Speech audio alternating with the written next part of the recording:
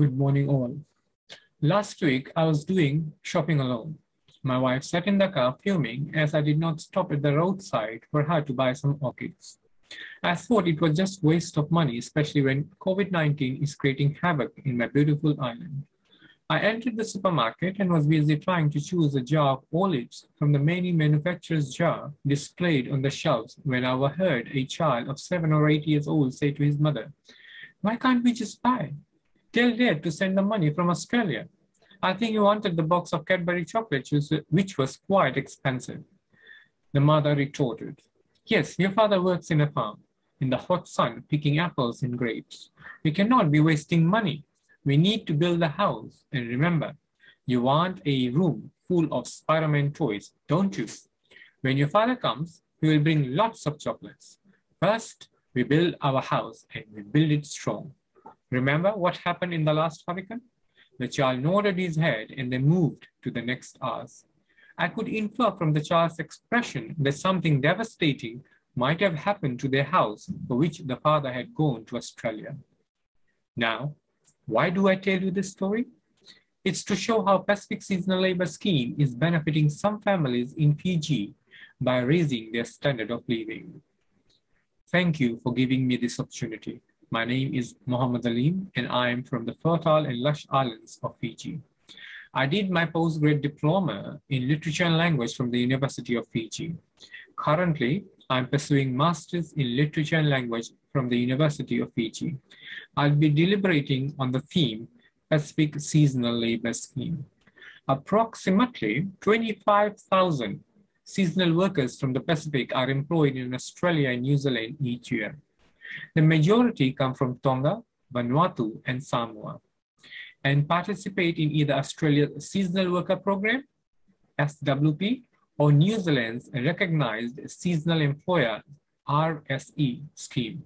Tonga, Vanuatu, and Samoa also have the largest number of workers as a proportion of their labor force. In Tonga's case, almost 15% of the workforce participated in the SWP or RSE last year. The numbers of Pacific seasonal workers in Australia and New Zealand at any given time vary, influenced by the harvest seasons for different products. As of May 2020, there were approximately 7,000 Pacific seasonal workers in Australia under the Seasonal Workers Program and 9,300 in New Zealand under the recognized Seasonal Employer Scheme. The Pacific Seasonal Labor Scheme is categorized as follows. Recognized Seasonal Employer, RSE program in New Zealand, and Seasonal Work Program, that is SWP in Australia. The aim of this paper is to discuss, firstly, the characteristics of Pacific Seasonal Labor Scheme, and secondly, to elaborate on financial impacts on supplier nations. Introduction. The island economy, economies in the Pacific have experienced fragile economic growth and limited structural change compared to the typical economy in the rest of developing Asia. Remoteness from major centers of population and economic activity and low economic density have contributed to these poor outcomes. To mitigate the impact of these constraints, bilateral arrangements with Australia and New Zealand over the last decade have given workers from these countries an, an opportunity to use seasonal labor migration to assess higher paying, more dynamic, and diverse labor markets. These managed secular migration schemes are designed to benefit employers in labor intensive sectors, the workers from the Pacific that have limited opportunities for wage earning employment in their own countries, and the communities that send the workers. Literature search. The literature for this paper included research, journal articles, policy papers, opinion pieces, media releases, and books that could be sourced electronically. It was limited to material that had been written since 2000 and to the geographic regions. To start with keyword searches using Google Scholar were used. The keywords included seasonal migration, Pacific seasonal labor scheme, temporary migration, guest workers, labor mobility, and economic development. Once sourced, each piece of literature was then keyword searched for information related to each of the aspects to be covered in the paper. The limitation of the paper is that no check was made to assess the reliability of the sources. Um, let us move on to the characteristics of uh, Pacific Seasonal Labor Scheme. The Pacific Seasonal Labor Scheme commenced on 1st July 2018 the scheme helps meet employer worker demand in rural and regional Australia and New Zealand. It enables citizens of participating countries to take up low and semi-skilled work opportunities in rural and regional Australia, and New Zealand for up to three years. The Pacific Seasonal Labour Scheme focuses on sectors with projected employment growth in Australia and New Zealand, and it is employer sponsored. It requires labor market testing to ensure Australians and New Zealanders have priority for local jobs and contains protections to safeguard against worker exploitation. The Pacific Seasonal Labor Scheme contributes to the economic development of participating Pacific Island countries in Timor-Leste by providing access to work opportunities in the Australia, New Zealand agriculture sector and accommodation sector in selected locations. The Pacific Seasonal Labor Scheme offers access to a reliable returning workforce when there's not enough local Australian or New Zealanders labor to meet the seasonal demand. The Seasonal Migration Scheme recognizes the need to let employers in the labor intensive accommodation, agriculture, horticulture, and viticulture, that is wine industries, recruit workers. A balance between the needs of these industries for seasonal labor to help expand production and exports and the need to provide employment opportunities for workers from the Pacific. The countries participating in Pacific Seasonal Labor Scheme are Fiji, Kiribati, Nauru, Papua New Guinea, Samoa, Solomon Islands, Timor-Leste, Tonga, Tuvalu, and Vanuatu. Ladies and gentlemen, let's move on to the financial impacts on supplier nations under the scheme, how it affects the income. Income earning opportunities are one of the key wins of temporary labor mobility schemes such as the Pacific Seasonal Labor Scheme. Income generation is the primary motivation for participation in the scheme.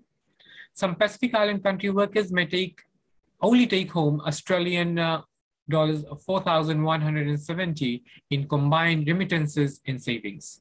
In Australia, gross earnings for a six-month contract in 2016 averaged an Australian dollar 19 to 20,000 dollars for Tongans and Vanuatu, and Australian dollar $14,000 for other Pacific Island country workers. Remittances. There is no doubt that even as they may vary between Pacific Island countries, earnings from Pacific seasonal labor scheme employment are significant. This situation probably remains true even when opportunities, opportunity costs relating to lost wages and or labor in home countries are accounted for. A high proportion of earnings go into remittances. Remittances are generally used to meet the household's immediate needs and often aid multiple relatives. In addition to cash remittances, seasonal workers often remit goods or return with them. Certainly, some of these goods may improve short-term development outcomes. For example, chainsaw may make it easier to clear land and build houses savings goals. Overall, seasonal workers appear to have similar aspirations for their savings regardless of nationality, which mirror trends from wider Pacific remittances flows as well as seasonal worker schemes elsewhere. Education, consumption, welfare gains, that is improved housing and small businesses are all common goals. There has been some evidence of participation in seasonal work leading to investment in small businesses, community development projects, and possibly in increased agricultural productivity. Such investments and projects appear to have been most successful when they were encouraged by community leaders or made a condition of participation in the scheme. Agriculture skills and skills losses and food security. This is one negative impact uh, on the um, on the nations who send laborers. It is evident that the loss of mainly male labor may well reduce agricultural production and thus challenge short-term food security, which may have financial impacts on the supplier nation. Um, to move on, uh, the COVID-19 crisis has imposed serious challenges on seasonal workers from Pacific Island countries. Border closures by both destinations and origin countries aimed at slowing the pandemic have left thousands of seasonal workers stranded in Australia and New Zealand. Although early concerns related to the legality of their stay have been addressed by visa extensions and redeployment options, lack of work remains an issue in some areas given the seasonal nature of employment. Data from the World Bank Pound survey on how COVID-19 has affected these workers suggests substantial and varying impacts on employment, earnings, and remittances. Domestic border closures and the dependence of workers on their employers to apply for visa extensions and redeployment, especially in Australia, and transportation to new workplaces in both Australia and New Zealand present additional challenges to the continuation of their employment and expose them to risk of exploitations and distress. The workers' distinct living and conditions, often in crowded spaces, together with their low levels of income, make them particularly vulnerable to infections and consequent economic hardships. For the scheme workers and their families, the primary driver for participation in the scheme is an economic one. Uh, the scheme income is now factored into the lives of many households and contributes to the economic and social well-being. Savings are used to support daily living needs, pay for children's education, improve standards of housing, contribute to the church as well as family and community events, and invest in agriculture and other small businesses. In conclusion, new labor mobility programs between Pacific Island countries and Australia and New Zealand have been beneficial for host countries in a number of ways, which I have already discussed. Labor from the Pacific has, has not only assisted in filling shortages in labor-intensive industries such as horticulture, but it has also increased productivity levels compared with what was possible with traditional sources of seasonal labor. Specific studies in the Pacific have shown positive development outcomes for households supplying workers, their communities, and their home countries. These are my references. Ladies and gentlemen, thank you for listening.